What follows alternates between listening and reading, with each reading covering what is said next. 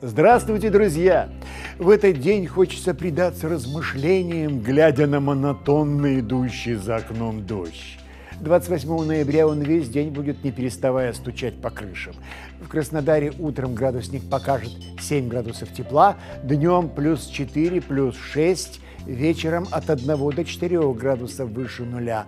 Ночью дождь неожиданно сменится на снег, температура от 0 до минус 2 градусов.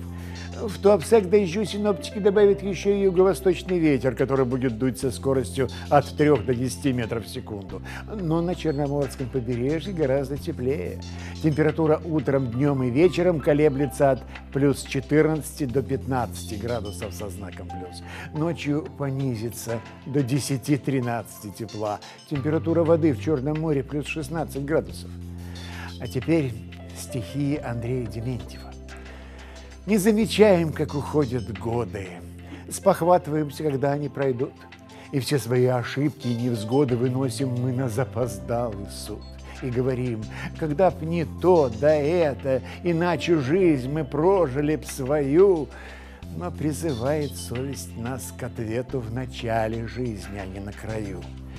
Живите так, как будто наступает тот самый главный, самый строгий суд. Живите словно дарите на память вы жизнь свою тем, кто потом придут.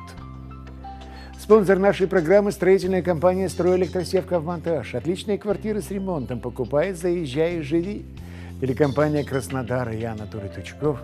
Желаем вам хорошего настроения в этот дождливый осенний день.